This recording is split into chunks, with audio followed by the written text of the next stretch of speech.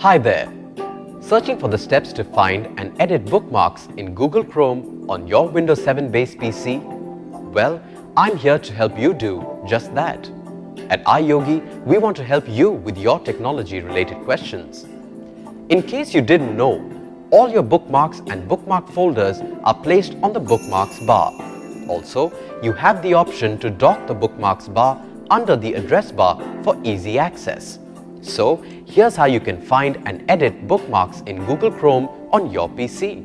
Follow me. To find bookmarks, you can find all your bookmarks in the Bookmarks menu. Click the wrench icon on the browser toolbar. Select Bookmark Manager. To edit bookmarks, if the bookmarks bar is displayed, right-click a bookmark on the bar and select Edit. You can adjust the name and URL of the bookmark.